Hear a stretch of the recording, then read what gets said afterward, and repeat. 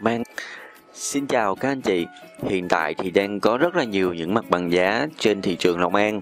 Hầu hết các dự án đều đi theo hướng phát triển đơn thuần thành khu dân cư.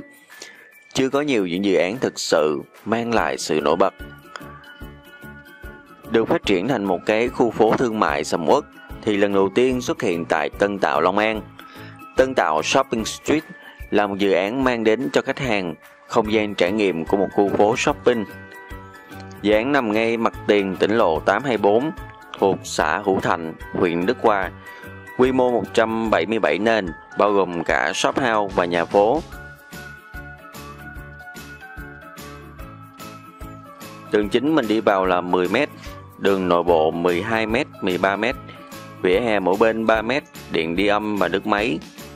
Thì trong 177 nền này thì 82 nền là nhà phố shop house xây sẵn, còn lại sẽ là đất nền dự án.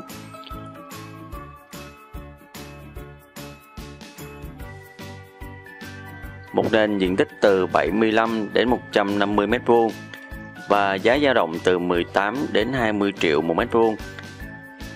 Dự án hiện đã có giấy phép quy hoạch 1500 và dự kiến sau 12 tháng sẽ thi công xong điện, nước, đèn, cây xanh và trong vòng 20 đến 26 tháng thì dự án sẽ đi vào hoạt động kinh doanh.